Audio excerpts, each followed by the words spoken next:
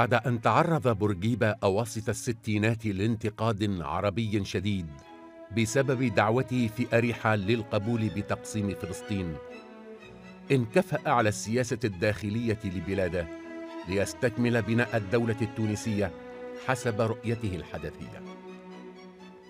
لكن سياساته وقعت في أكثر من تناقض وأدت إلى مآزق كبيرة استثمرها المجاهد الأكبر بمراوغاته السياسية لكسب الحكم مدى الحياة. فرغما عن ميولاته الغربية تبنى الرئيس التونسي وحزب الدستور في مطلع الستينات الاشتراكية كنظام سياسي واقتصادي. لم يكن هذا الاختيار البرجيبي ناتجا عن قناعة. بقدر ما كان ضرورة فرضها واقع اقتصاد البلاد الضعيف في ذاك الزمن. في عام 62 كانت النتائج الاقتصادية رديئة فجاء أحمد بن صالح كمسؤول على النقابات فأقنع بورقيبة أن الوسيلة الوحيدة للنهوض بالاقتصاد التونسي هي هو النظام الاشتراكي. فقبل بورقيبة كرجل واقعي هذا النظام لا عن قناعة أو لا لتعلقه بالاشتراكية بل لأنه يرى أن لابد من نتائج. كانت دراية بورقيبة بالاقتصاد محدودة لكن همه كان في توفير الرفاه للشعب التونسي. بورقيبة بالنسبة لي ما عندوش أي أيديولوجية اقتصادية يؤمن بها. أتذكر عندما يقول لنا الشيء اللي هو ينتج ويمكن المجتمع التونسي من التقدم أنا معه مهما تسميته. ابعدوا بس على الأنظمة السوفيتية. التخطيط السوفيتي والتخطيط الصيني أنا ذاك هما النوعين من التخطيط اللي كانوا موجودين. هذا ابعدوا منه. لأنه في كبت وفي اختيارات اجتماعية أنا مانيش قبلها. لكن أي مزاج من الاشتراكية والرأسمالية أو التخطيط والاقتصاد الحر اختاروا ما تريدون. وفي مايو 64 وعندما وقع بورقيبة قانون الجلاء الزراعي توفر للحكومة 800 ألف هكتار من الأراضي والتي كانت بأيدي المستعمرين مثلت رصيدا هاما للاستغلال في إطار التوجهات الاشتراكية الجديدة. غضب الفرنسيون وقاطعوا الاقتصاد التونسي. لكن بورقيبة لقي مساندة أمريكية لا علاقة لها بالإيديولوجيات. في اعتقادي أن أمريكا بالنسبة لها ما يهمهاش. أي تجربة اقتصادية آه، يعني آه، تمررها تونس. اللي يهمها هو أن بورقيبة يبقى راضي على هذه التجربة وبورقيبة يبقى كذلك صديق لأمريكا. صداقة أمريكا السياسية أهم من أي اختيار اقتصادي تونسي من أي إيديولوجية اقتصادية تونسية. مش مهم. وبورقيبة طبعا كان من أنصار أمريكا من أنصار أمريكا الكبار إلى حد أنه لم يعترف بالصين على سبيل المثال. وكان مؤيد لحرب فيتنام كان النظام التونسي قد تشدد في ذاك الزمن بعد إجهاض محاولة انقلابية فاشلة سنة 63 تكرست شمولية الدولة في مؤتمر لحزب الدستور انعقد في شهر أكتوبر 64 بمدينة بنزرت. أنشئت لأول مرة في تاريخ الحزب لجنة مركزية على غرار الأحزاب الاشتراكية في أنحاء العالم. تغير اسم الحزب الحر الدستوري ليصبح الحزب الاشتراكي الدستوري. تغير فيه اسم الحزب؟ وتغير فيه الهيكلة بتاع الحزب مش كان اسم وتغير فيه آلية أخذ القرار أيضا. وأصبح يعني الانتخاب هو استثناء. في وقت اللي كان الانتخاب هو القاعدة. ثم الاستثناء بتاع الاستثناء بتاع الاستثناء حتى ولات الأمور بلاش حوار بكل كان أحمد بن صالح في ذاك الزمن وزيرا ناجحا للصحة. وكان من الداعين للفكر الاشتراكي. خرج منتصرا من مؤتمر الحزب بعد أن أقنع بورقيبة برؤيته في الاشتراكية. الاختيارات اللي وقعت وقعت المصادقة عليها بحماس وإجماع ما هو موجود من المؤسسات وهو مؤتمر الحزب الحاكم مانيش باش نخلق مؤسسات أخرى أنا. فاك المؤتمر هذاك وقعت المصادقة على ما وقع. إلى آخر 64 وما اقترح للسنوات اللي فيما بعد. وما اقترح هو اقتراحاتي أنا بما في ذلك القطاعات الثلاث. لم يكن بن صالح وهو الزعيم النقابي السابق من الرجالات الذين درسوا الاقتصاد أو تخصصوا فيه. ومع ذلك كلفه بورقيبة بالتخطيط للسياسة الاقتصادية الاشتراكية الجديدة. فوقع شد وجذب في المناصب التي يحتاجها بن صالح لتنفيذ سياساته. قال لي ولهذا يلزمك تأخذ وزارة التخطيط. فكتابة الدولة وقتها ما معناش وزارة أحنا بكل. كتابة الدولة للتخطيط. قلت له مستحيل. قال لي كيفاش؟ قلت له لا ما ناخوش لها باختصار نقول لك اللي وقعت وقعت لحظات طويلة وعنيدة ومضنية يعني نتاع خصومة.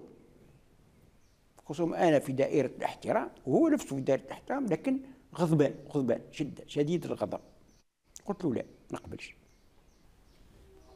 وقلت له بينت له قلت له أنا راني ماليش اختصاصي في الاقتصاد. أنا تعلمت الاقتصاد من ال من اسمه التقارير نتاع النقابات على الحالة الاقتصادية نتاع بلدان. نتاع 100 بلاد على الأقل. لكن وعندي نظرية أخرى. وقلت أكثر من هذا شيء عارف قلت لا أؤمن بأن فما علوم اقتصادية. جاش علي قليل باش يكون عندك الماليه عين بورقيبة أحمد بن صالح على رأس خمس وزارات الواحدة تلو الأخرى وأعطاه تفويضا مطلقا. شرع بن صالح في تنفيذ تجربته المبنية على تعايش ثلاثة قطاعات واحد حكومي وآخر خاص. وثالث مشترك بين الخواص بمشاركة وتخطيط من الدولة أو ما سمي في ذاك الزمن بسياسة التعاضد. كونت اللجان التخطيط في كل مكان بالمرحلة بالمرحلة حتى ولات في نطاق المعتمدية مش الولاية. في كل مكان. عندنا الناس اللي شاركوا فعلا في تصنيف المخططات العشرية والمخطط الانتقالي بثلاث سنوات والمخطط الرباعي الأول والمخطط الرباعي الثاني. خمسة آلاف تونسي على الأقل اللي مشاركين في هذا. شائن فشائن بداية تعميم التعاضد أو التوسع في التعاضد الفلاحي كان مجعول ب... ب... على أسس يعني صحيحة يلزم دراسة تبين الجدوى التعاضدية أو التجمع على باش يحدث في أي ميدان من الميادين وعلى ضوء الدراسة إذا كانت تبين الجدوى الجدوى نتاعها يقع البحث على التمويلات اللازمة لها وضمان حينئذ انطلاق المؤسسة فلاحية كانت أو صناعية أو تجارية في وقت ما أصبح العمل لا بصفة ولا تعاضدية تمهيدية. الكلمة ما هيش اختراع بورقيبة اختراع معناتها المصالح. ما نعرفش أحمد بنفسه أحمد بن صالح بنفسه أو المصالح. بورقيبة قال ساند هذا وشجع على هذا ودافع عن التجربة هذه. أبدى البنك الدولي الذي يجمع أكبر رأسماليات العالم اهتماما بالتجربة الاشتراكية التونسية. وقامت وفوده بزيارات متكررة للبلاد. عندما نجحت التجربة هذه تجاسرنا وطلبت أنا من البنك الدولي وهو بنك رأس مالي ولم يصرف ولو دولار واحد من منذ خلق في الفلاحة أبدا. علاش قلت تجاسرت عليه؟ وطلبت منه أنه باش نكونوا إحنا 300 وحدة إنتاجية في الشمال. لكن لم تلقى سياسة تعميم تجربة التعاضد تجاوبا من قبل الجميع. بدأ التململ يمس أوساط النخب السياسية وهياكل الحزب الحاكم نفسه. في الأثناء ألمت ببورقيبة أول أزماته الصحية الخطيرة والتي أثارت أولى الأطماع في خلافته. لما أصيب الحبيب بورقيبة الله يرحمه بذبحة قلبية أدرك الناس وأدرك أقرب الناس إليه من الأعضاد. أدركوا أن بورقيبة ميت أنه إنسان أن من قبل كان لبورقيبة حيوية ونشاط وخطب وحضور في الجهاد بحيث ما كان يفكر أحد أن بورقيبة سيغيب. من الساحة التونسية.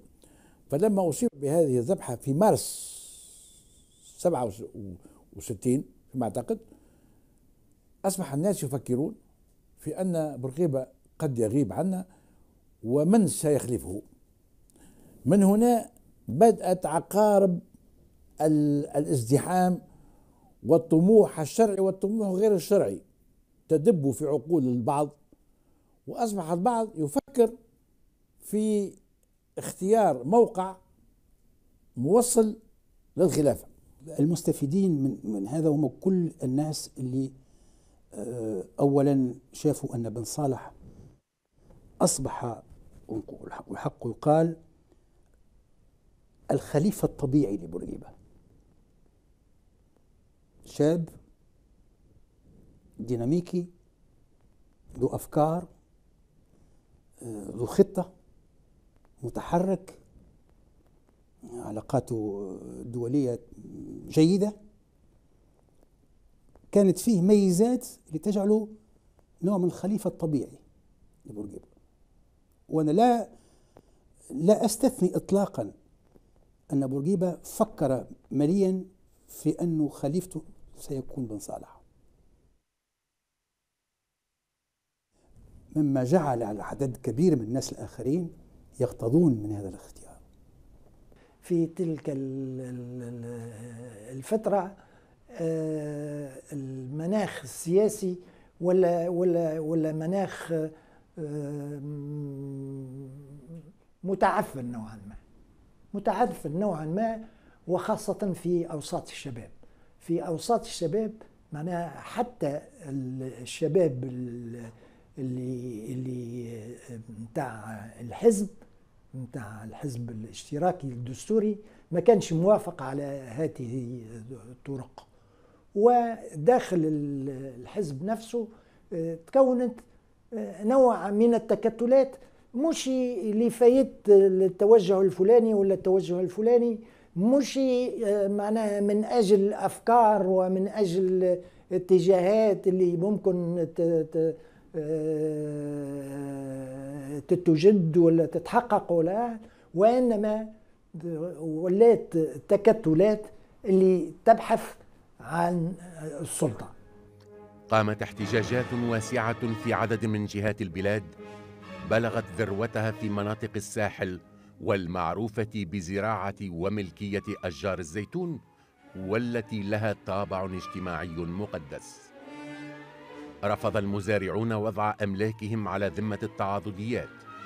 فرأى بن صالح في الأمر مؤامرة تحركها يد مناوئيه في الحكم.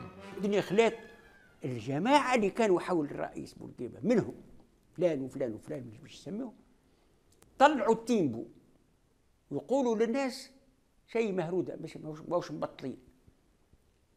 ويحمشوا في الناس بما في ذلك بعض الولاة التابعين لهم والمعتمدين والمخابرات الخاصة واللي يسميهم الناس الذين ينتمون دما ولحما ودما للبورقيبة إلى غير ذلك يطلعوا في في في في, في الضغط الرأي العام.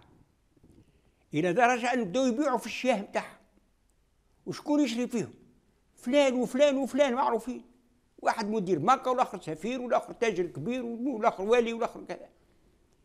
وهزوهم مئات الآلاف. في في في, في المساحات نتاع القيروان. والحمد لله إحنا ما زلنا موجودين وما زلنا ما بداوش يقضيوا علينا وجات الفيضانات مسحتهم في القيروان على الأقل. هذا ما يقولوش هذا هو الصحيح. لصالح يقول بأنه كان هو ضحية البرجوازية التونسية وضحية المؤامرات اللي وقعت في القصر ضده وضحية نجاحه إلى آخره. ما هوش غلط مية في المية في هذا. لكن الشيء اللي أنا مش موافق متفق فيه مع بن صالح وقلت له يعني في عدة مقابلات ما بيني وبينه. إحنا أصدقاء ما متفقين في الاقتصاد لكن عندما نلتقي ثم نوع من الحميمية ما بيني وبينه. آه، نقول له يعني الكلام اللي تقول فيه هذا صحيح. لكن أن تعتبر بأن آه، ما أصابك من ويلات كله راجع إلى إلى إلى إلى هذا ما هو صحيح. وإشكالي حتى الآن مع ابن صالح هو كونه عدم اعتراف ابن صالح بأنه اقترف ولو غلطة صغيرة. الأرضية التونسية لا تسمح بالتجمع وبتجميع معناها ما لا يسمح بذلك. مش ممكن باش تاخذ أنت رزق فلان على أساس سياسة تجمعية وتدخلوا في التعاضد مثلا. جيل الدكاكين اللي كانوا عندهم أهل جربة في في موزعين في كامل التراب الجمهوريه وجيت قلنا نعمل أنا تعاضد تجاري. ويا ناس تسكروا معناها دكاكينكم تغلقوا دكاكينكم وتدخلوا تعاضدية مركزية. كيف كيف من غير شك معناها الناس تحت الضغط سكروا المفاتيح بتاعهم. ومشاوا رجعوا لجرب البلاد وسيبوا في كل شيء. لما تم تعميم التعاضد حتى في القطاعات الأخرى في التجارة في التوريد حتى في التجارة تفصيل فتراجع البنك الدولي ونظر إلى النتائج الوخيمة. عجز في الميزان الدفعات عجز في الميزان الميزانية الدولة تشغيل ضعيف مستوى عيش رديء.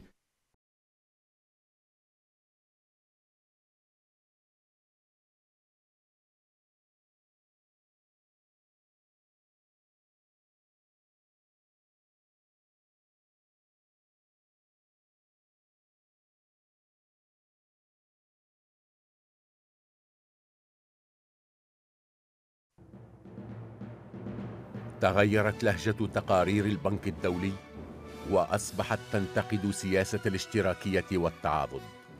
لكن بورقيبة قال لاحقا إنه لم يكن على علم بها واستمر في دعم وزيره.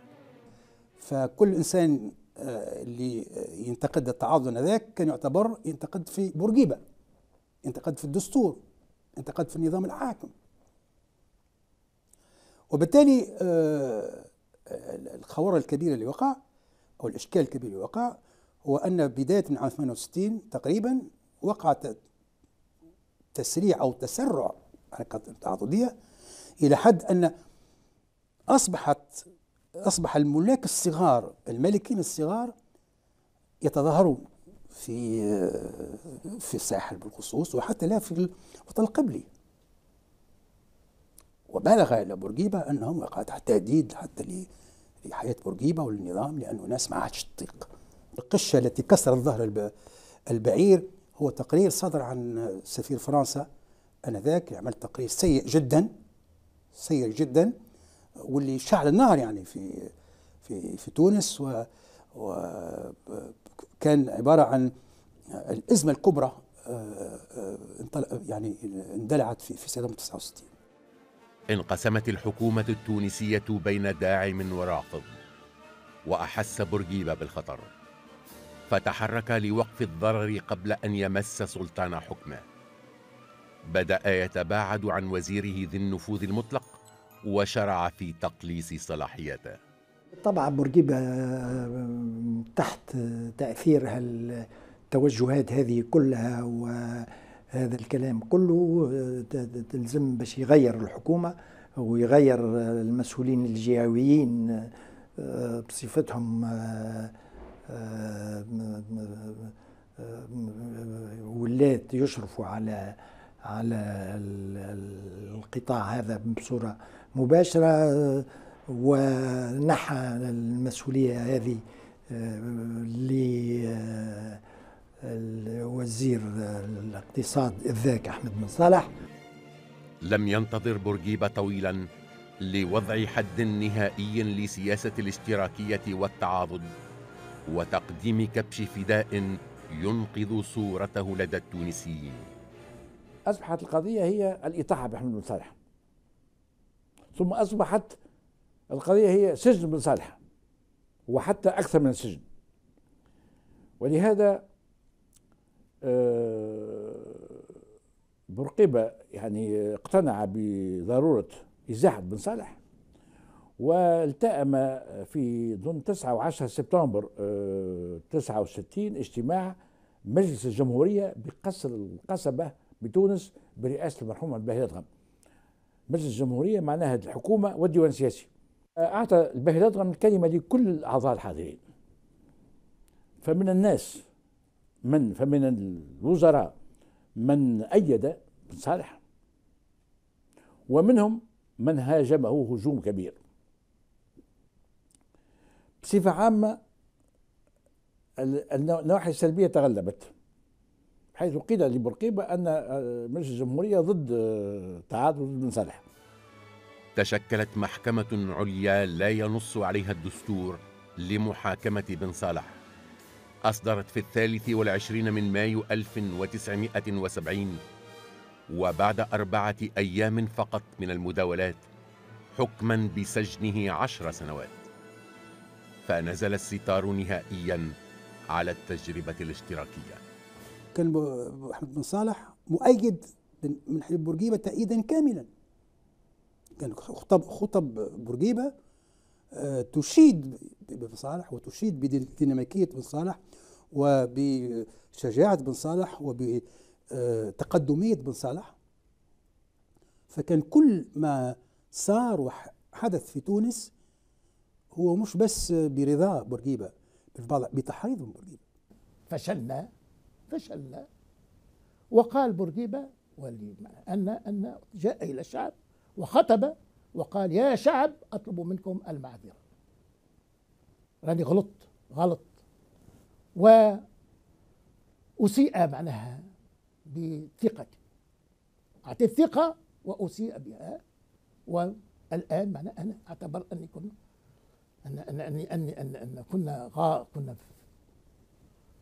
و ولسوء الحظ كان الوحيد أن قال ذلك. ومن غير شك ارتاح الشعب التونسي. ارتاح الشعب التونسي لإزالة معناها لتغيير السياسة.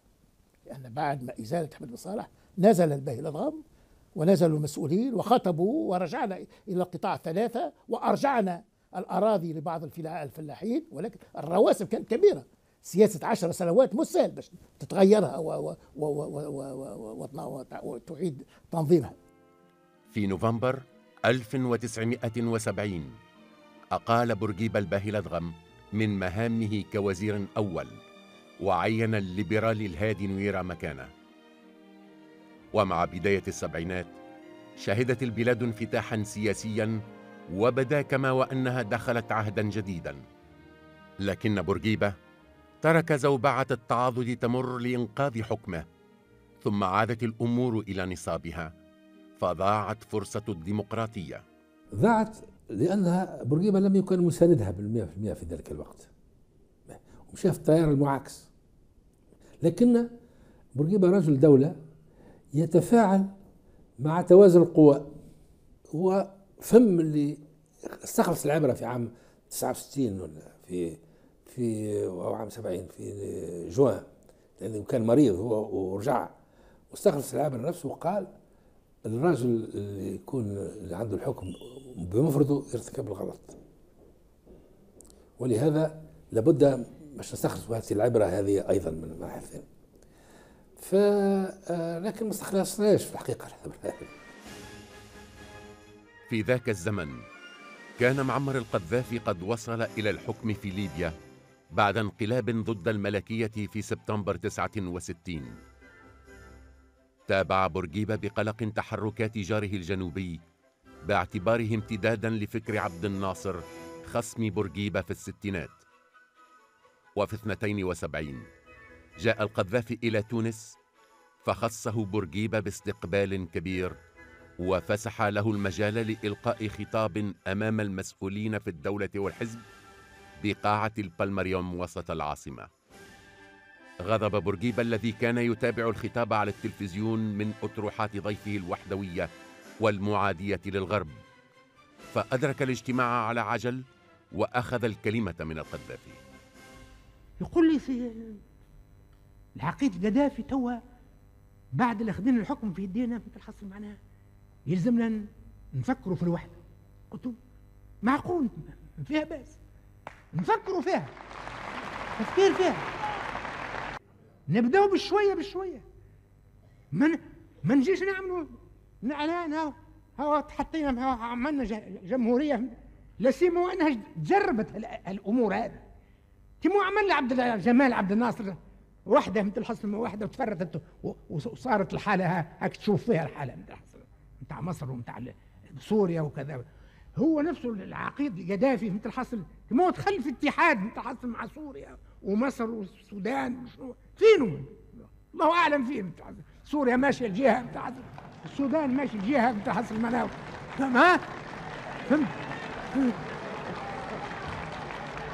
إذا كان نبقاو ديما في الحاله هذه من الضعف والوهن والتأخر العلمي والتأخر التكنولوجي والقافلة متاع التقدم مثل حصل سايرة إلى الأمام ما يزيدناش قوة مثل حصل كيف نزيدوا مليون ونصف ليبيا على خمس ملايين توانسة مثل حصل معناها نقولوا هوا مثل حصل معناها تقوينا. ونتحدى ونتحدى أمريكا. كيف تتحداها؟ بعد شنو النتيجه؟ النتيجه تاكل طريحة. طريحة تولي سينا مثل حصل معناها اللي مشينا نحرروا في فلسطين السينا ولات عند اليهود. أو التحدي. هذا كلام هذا يقول. تنقص التجارب تنقص المعلومات تنقص كيفاش تتغير الأدمغة. تنقص هذا تكوين وطن. خلاف اللي ما بيني وبينه مش فيما يخص الاتجاه فيما يخص الهدف البعيد. الهدف البعيد ما, ما, ما يرفض حد لأن يلزم يزيدنا قوة ويزيدنا هيبة ويزيدنا وزن مثل الحصل في العالم. لكن نحب نبنيه على أساس. باش ما يقعلوش ما وقع للتجارب اللي سبقت اللي انتهت مثل حصل معناها في في الفضايح والهزايم مثل حصل منكره مثل حصل معناها وحل محل لكن نخوة مثل حصل العربية مركب الخوف مركب الهزيمة. ظن الجميع وأن قطيعة ستحصل بين الثوري الشاب والسياسي العجوز. ولكن بورقيبة وفي ظل الأزمة العالمية للبترول سنة 73 زار طرابلس لحضور الاحتفالات بثورة الفاتح من سبتمبر جبرا لخاطر القذافي. في وقت كان العقيد الليبي فشل في إقناع الرئيس المصري أنور السادات بإنجاز وحدة بين بلديهما. قال بورقيبة القذافي اخطأت مش ممكن باش تعمل أي شيء لو مع الشر. راهو بعيد أنت بعيد أنت أقرب منك أنت لجهتنا من من مصر ومن السودان ومن كذا وكذا. بورقيبه قال له راك اختارك رد بالك بالشرق راهو تمشي ما يتكلموا معاك في الهواء في الريح. عمل باليد هكا. فالعقيد جاوبوا هذا يحكي لنا عليه معناتها هو بنفسه العقيدة يحكيها. وبورقيبة حكاها من بعد يقول هو العقيد قال له لو كان نجي معاكم أنا في المغرب العربي ونلقاكم حتى أنتم هكا. قالوا لا إحنا جديين وهنا ماشيين لمؤتمر عدم الانحياز في الجزائر في نفس الشهر هذاك. كان في غرة غرة سبتمبر ف في الجزائر تو نجتمعوا إحنا ابو مليون نجتمعوا مع ولداده وتو تشوفوا. ونقترح عليهم المشروع هذا ويوافقوا. بالفعل وقع الاجتماع أنا بنفسي كنت حاضر مع مشيت مع الرئيس وكانوا متفاهمين أما بورقيبة قال وقتها للعقيد قال له اسمع أنت اسمعنا. وما تجاوبش تو. وستلقى مع تونس معنا كل ما كل الإمكانيات باش نتعامل مع بعضنا خلفية هذا أكثر من هو كونه بورقيبة غير شك. يسعى بأن ليبيا ترجع إلى إلى إلى إلى المغرب العربي أكثر من تهرب إلى إلى المشرق. معقول؟ كل معناها مصالحنا ما غير شك لأن آه، فيه فيه وخاصة أن كان عندنا موضوع الجرف القاري ما بين بعض. والجرف القاري فيه 100 مليون طن بترول وفي متخلفين. إذا كانت صارت في وحدة مع مصر الجرف القاري يولي مصري تونسي ليبي ولا شو في في في مصالح لم يصبر القذافي على وعد بورقيبة الجديد. فوصل في يناير 74 برا إلى جزيرة جربة والقريبة من حدود بلاده في زيارة مفاجئة. القذافي طال يطالب بأن نجتمع بصفة أكيدة وفورية نوعا ما لهام لموضوع هام يخص البلدين. إحنا في الحقيقة نسينا نوعا ما ما قيل في سبتمبر ما قالوا بورقيبة في سبتمبر وتنسينا حكاية الوحدة لأن رئيس دولة يطلب من رئيس دولة ثاني بأن يقابله بصفة فورية. قلنا لا في حاجة أمنية. هذا تبادر لذهن في موضوع أمني خطير في موضوع يجب نتحدث فيه. قال بورقيبة طيب. تحول بورقيبة إلى جربة لملاقاة العقيد الليبي فكان القذافي في استقباله بالمطار وكأن الرئيس التونسي هو الذي حل ضيفا عليه. وكانت شوارع جربة تحمل أكثر من مفاجأة لصاحب الأرض. وكان معناها وهذا ما ألفت النظر نوعا ما وخاصة أنا كوزير داخليه أن المواطنين اللي كانوا على على الرصيف من هون ومن هون القذافي يناديوا بالوحدة. وكأن قيل لهم في من المسؤولين الجهويين وبإعاز ربما من المسؤولين القوميين بالحديث عن الوحدة. وأكثر من هذا أنا كان وقت جاء القذافي كان محمد الفتوري وقت وزير المال بصفة عفوية غادي كان هو الوزير وكان حضر وقالوا القذافي قالوا آه، إحنا غدوة سنكون بلاد واحدة. وأن شوف سنستجيب لهؤلاء الطلبات ال- عند المواطنين بالوحدة بالوحدة بالوحدة. كان محمد المصمودي وزير الخارجية آنذاك سبق الجميع إلى جربة للقاء القذافي.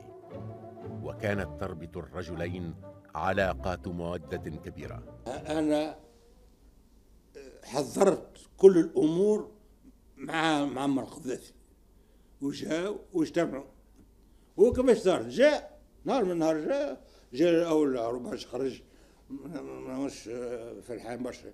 وجاء مرة حبيب بورقيبة كان تعب شوية الحقيقة. وتلقاو وكنت أنا كان الحبيب الشطي وزير خارجية.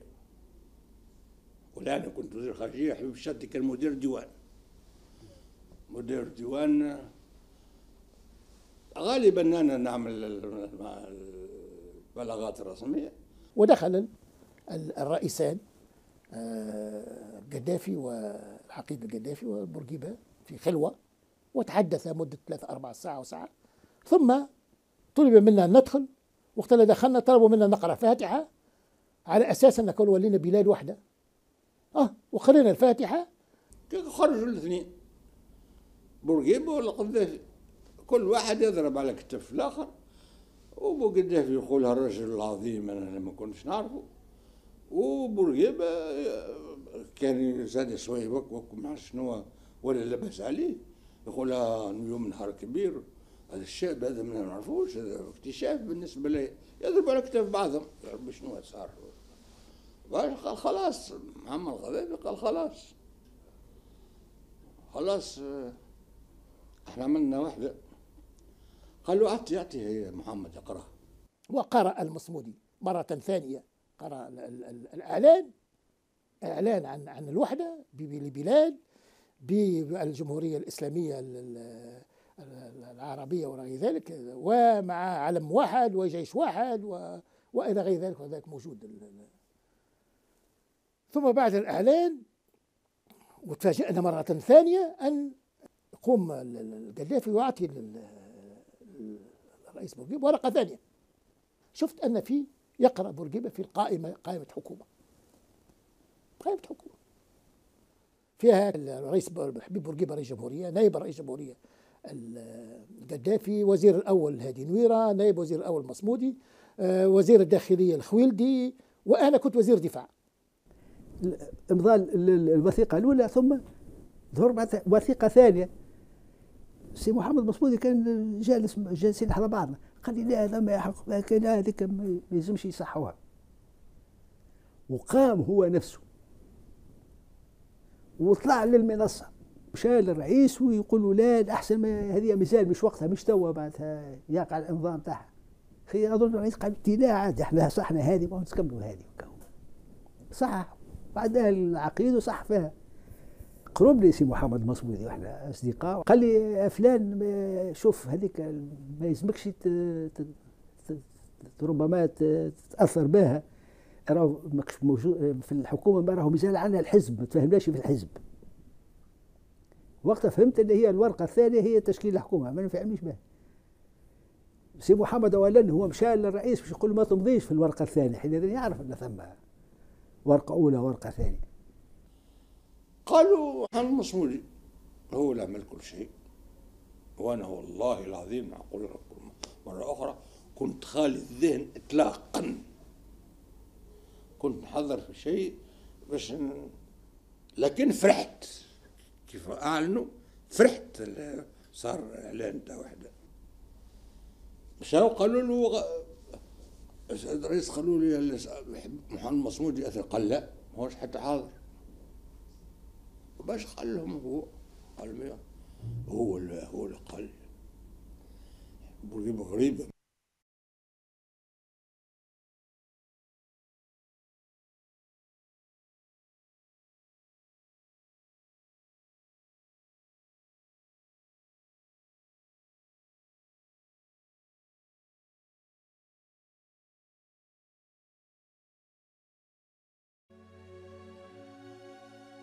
تحدد تاريخ الثامن عشر من يناير أربعة وسبعين كموعد لإجراء الاستفتاء الشعبي على الوحدة بين تونس وليبيا في إطار ما سمي بالجمهورية العربية الإسلامية. لكن ظهرت في الأفق أكثر من مشكلة بدأت تهدد مصير هذا المشروع قبل أن يرى النور. في الطائرة وإحنا راجعين يعني آه، تحدثت كنت جالس إلى أمام بورقيبة وكان معنا الطبيب نتاعه وكان سي حسن بالخوجة في والرئيس كان فرحان بال بالاتفاق هذا وبالمشروع. آه، حديث كثير معناتها على كونه بترول ما ننساوش وقت أزمة النفط في ال- ال- ال- ال- العالم وأوروبا وصعوبات وتبارك الله ليبيا عندها ما شاء الله يعني حينئذ كانت أفكار أخرى ماشية. فأنا قلت هذا كل شيء جميل سيد الرئيس ما نحب نلفت نظرك. حاجة قلتها راني في جلسة ولكن نحب نقولها لك لك أنت الآن راهو الدستور نتاعنا ما يسمحش. وأنت عملت دستور نتاع بلاد ما يسمحش أنت تكون يعني تتجاوزه كرئيس دولة. واجبي باش نلفت نظرك. قال قال لي واش مش عملنا تنقيح؟ قلت له التنقيح مثال ما. قال لي باهي وقتاش تحب له؟ قلت له على الأقل ثلاثة أشهر. والله بالفعل. قال لي شبيه ما لا يتأجل. في عرض 18 جافي يتأجل المارس يتأجل افريل طرأ أكثر من عنصر جديد داخليا وخارجي لإجهاض اتفاق جربة حول الوحدة التونسية الليبية. في نفس الليلة جاء سيد هادي الويرة من كان في الخارج كان في زيارة رسمية في إيران ولكن في اليوم هذاك بتاع 18 جافي هي 12 جافي كان في في باريس. جاء في الليل لتونس. تحدثنا معاه علمناه قال أنا غدوه باش نمشي للسيد الرئيس وباش نقول له هذا مش موجود. كيف نهار لحد يعني من غدوة كيف مشينا له قال هاو توا سي هواري بومدن كلمته باش نقول له نهنيك هاو الراجل جا وهاو اتفقنا باش نعمل توا واحدة كونفدرالية. قال قال لي لا je ne prends pas le train en marche ما نركبش في القطار وهو وهو يمشي.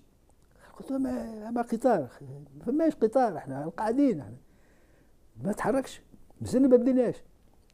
قال لا قال لي لا لا أنا ما ما, ما, ما ندخلش في, في بالصفه هذه ال- ال- الكونفدرالية لهالاتحاد هذا هذا بينك وبين قال ولذا بورقيبة قال يلزم نبعث وفد يمشي للعقيد باش خاطر رجع لليبيا باش يزيد يأكد له بصفة رسمية.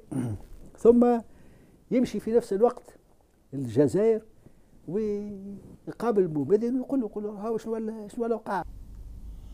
ورجع سيد هادي نويرة دار دار كما يقول الفرنساويين. كان في في ايران شهرا قالوا أنا وعدتكم باش نعطيكم نعطيكم. ما عادش نعطي نعطيش هذا يحب ينحي الملوك ويحب ينحي الكل وينحي إيش. تعمل معها وحده تونس دخلوا باش. ووسيلة كانت في لبنان مشات من عشر العراق باش رجعت للبنان. زاد يعني هذوما الشخصيتين رغم كل شيء كان عندهم تأثير كبير. فيظهر أن الهادي نميره آه، أثر على الرئيس وللحقيقة والتاريخ وسيلة نفسها كانت ضد الوحدة بالطريقة هذيك. رغم أن علاقاتها كانت طيبة مع المسعودي في وقت من الأوقات ومع القذافي لكن كانت ضد الوحدة على الطريقة هذيك والحق يقال. وبورقيبة أدرك أنه تسرع. كان موقفنا وهذا وقع معناتها في جلسة أخرى مع السيد الرئيس أنه باش المدة اللي باش نحصروها باش باش نزيدوا نتفاوضوا أحنا فيما بيناتنا. ما هوش رفض نزيدوا نتفاوضوا ونتفق على سياسة معينة. ف وبعد ما تم الاتفاق مع الرئيس بانه مع سيد هادي وإحنا معاه الرئيس معناتها اجمع الديوان السياسي في في كرتاج و آه، تحل نقاش وكان حاضر سي محمد المصمودي. هو عبر على من قبل على عدم موافقته فجرت قنبله أنت. لازم توجهها حتى قالوا غدوه باش قام نمشي لسويسرا وشنو أنا. شو ماشي لسويسرا؟ كيفاش تمشي لسويسرا؟ ليش ما تقام توجهها قال بيه تو شوف. ترك بورقيبة الأزمة وراءه وسافر إلى سويسرا. فلحقه القذافي إلى جنيف ليستفسر منه عن أسباب تراجعه عن الوحدة. فراوغه بورقيبة. دخل القذافي. بورقيبة طبعا تظاهر بأنه تعبان ومريض وان يكلموا القذافي يقول له أنا والله راسي تعب وكذا ما الهادي يعرف الموضوع. فهمت؟ أما اللي قالوا قالوا أنت أمضيت على اتفاق. ت- توفي بوعدك. أنت ملتزم.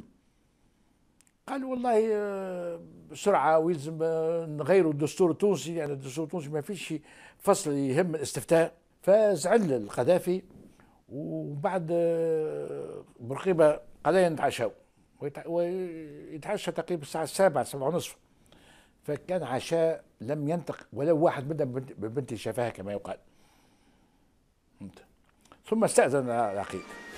أقال بورقيبة لاحقا المصمود من مهامه كوزير للخارجية.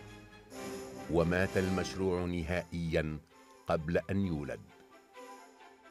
كان الرئيس التونسي في ذاك الزمن يعاني أزمات صحية متلاحقة ويتغيب عن البلاد أشهرا طويلة للمداواة. طرح وضعه الصحي أكثر من سؤال في أركان الحكم حول مستقبل الرئاسة.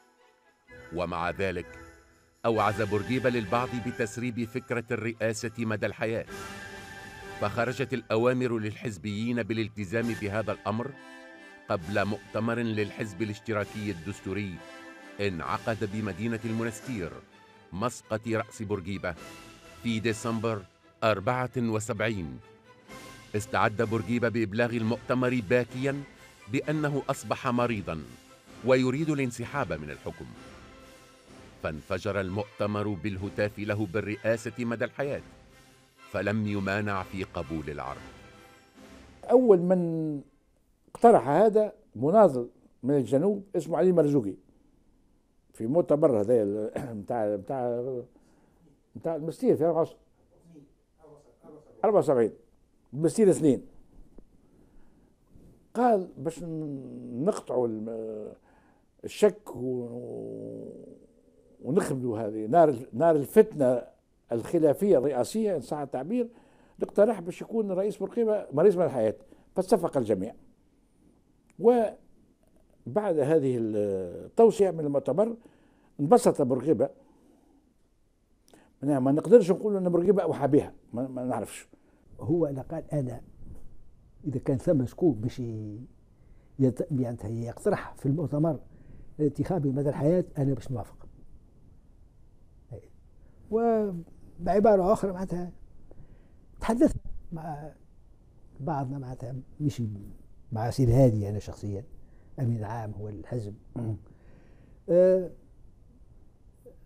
بورقيبة كرئيس للحزب في حسب تجاربنا حسب نظرتنا يخلي مجال لكل واحد باش ينجم يقول ما- ما يحب. وإذا كان عنده واحد يوافق. آه ثم هو عبارة على رمز معناتها آه أنا شخصيا شفت من الاحواج الأخرى الا ربما معناتها مع التنقيح الجديد المنتظر للدستور باش يولي وزير أول عنده صلاحيات ينجم يكون الرئيس معناتها كأنه عبارة على يعني رمز يسطر خطوط عامة. بورقيبه انبسط ووقع في 75 من 75 تعديل الدستور التونسي بدي ادخال الرئاسه من الحياة لشخص بورقيبة فقط. وقع بورقيبة التعديل الدستوري.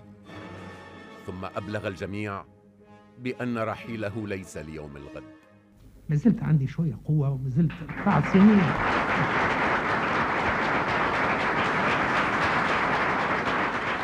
لكن مرض بورقيبة استمر. فتزايد تأثير زوجته وسيلة في السياسة التونسية وكانت تشارك في صناعة القرارات الكبرى للبلاد. فكرنا في خطوة نائب رئيس واجتمعنا في الحكومة وصدقنا على هذا ورئيس وافق. فوسيلة أوحت لأحد أصدقائها وهو المرحوم حسام الخوجة بأن يعدل الرئيس فكرته حتى يضحك الناس على هذه الميرة مع الحكومة. ماذا قال حسن بن خوش للرئيس قال له السيد الرئيس إذا كان آه، فما نائب رئيس من باش يقع انتخابه معك مثل في أمريكا. فهمت؟ فأنت ما عادش تقدر تنحيه. قال كيفاش؟ أنا ما نجمش نعزل نائب رئيس ولا وزير هذا حق من حقوقي. اي بطلت. فوسيلة ضحكت قالت هكا شفت الحكومة هذا منها معناها هدرة فارغة معناها يعني أعمال. لو كان الهدميرة كان ضد نائب رئيس راهي وسيلة قالت لا لابد من نائب رئيس. لم تضع التعديلات الدستورية وإعلان المجاهد الأكبر رئيسا مدى الحياة حدا للسباق نحو كرسي الحكم. كثرت بين أطراف حاشيته المؤامرات وتصفية الحسابات بين الطامعين في الخلافة.